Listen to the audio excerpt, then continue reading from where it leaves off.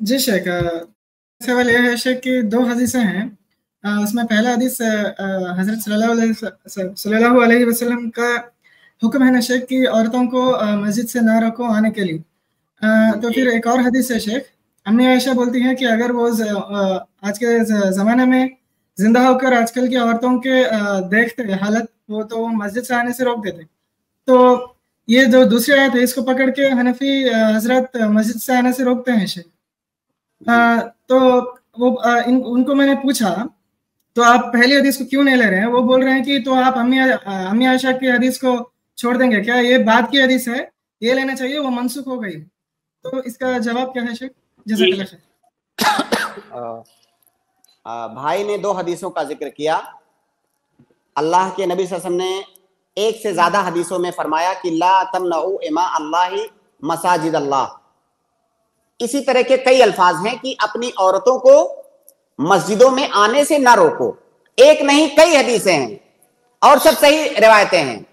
दूसरी तरफ़ एक हदीस है, आयशा रज़ी कहती हैं कि अभी औरतों के जो हालात हो गए हैं, अगर अल्लाह के नबी वसल्लम इन्हें देखते तो मस्जिद में आने से मना कर देते। वो बेपर्दगी वगैरह की तरफ़ जो है इशारा कर रही हैं, आयशा रज़ी अल्लाह तला तो इसका जवाब देने से पहले, पहला सवाल मेरा यह है कि आयशा रज़ी अल्लाह तला ने जो ये बात कही, क्या इसको हदीस कहते हैं?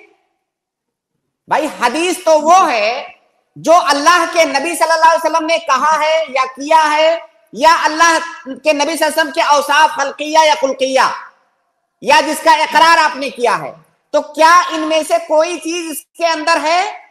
तो क्या ये अल्लाह के नबी सल्लल्लाहु अलैहि वसल्लम का कौल या फेल या उनकी तकरीर है कि इसको आप हदीस कहेंगे? तो ये अल्लाह के नबी सल्लल्लाहु अलैहि वसल्लम की हदीस नहीं। आयशा रज़ी अल्लाह तहा का कौल है, उनकी राय है।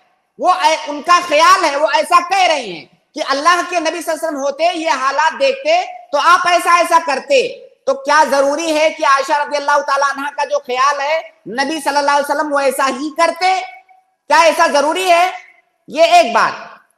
दूसरी बात उस, उसका जवाब कि अल्लाह के नबी सल्लल्लाहु अलैहि वसल्लम ने फरमाया एक से ज़्यादा हदीसों में ये माना मौजूद है कि एक जमाना ऐसा आएगा जिसमें बेपर्दगी आम होगी। अल्लाह के नबी वसल्लम ने कहा नेसा उन कासियातुन आरियातुन माइलातुन मुमीलातुन। लंबी हदीस है कि इस तरह की औरतें आएँगी जो कपड़ा पहन पहनने के बावजूद बरहना होंगी। बेपर्दगी का मुजाहरा करेंगे, मुख्तलिफ़ औसाफ अल्लाह के नबी वसल्लम ने बताए। इसका मतलब ये कि अल्लाह के नबी सल्लल्लाहु अलैहि वसल्लम ये पेशीन गोई पहले कर गए हैं कि ऐसा दौर आएगा कि औरतें बेपर्दा होंगी। तो ये अल्लाह के नबी सल्लल्लाहु अलैहि वसल्लम से गोया की कोई ढकी छुपी बात नहीं थी कि एक दौर आएगा जिसमें बेपर्दगी ऐसे ऐसे आएगी। तो गोया कि अल्लाह के नबी वसल्लम को पता था ये। तो जब पता था तो अल्लाह के नबी वसल्लम ने क्यों नहीं मना किया कि जब वो दौर आ जाएगा तो मस्जिद मत जाना? जी। क्या ऐसा मना किया? नहीं मना किया। तो अल्लाह के नबी वसल्लम को ये मालूम होने के बावजूद कि बेपर्दगी का दौर आएगा लेकिन उस दौर में भी पर्दे के साथ औरत मस्जिद जाएगी। पर्दा तो ज़रूरी है उसमें कोई कंप्रोमाइज नहीं है। लेकिन उसकी वजह से मुतलक तौर से तमाम औरतों को मस्जिद से रोक आयशा रज़ी अल्लाह तला ने जो कहा, ये उनकी राय है। ये उनकी राय है। कि अल्लाह के नबी वसल्लम होते तो ऐसा करते। ये उनकी राय है। ये अल्लाह के नबी वसल्लम की हदीस नहीं है।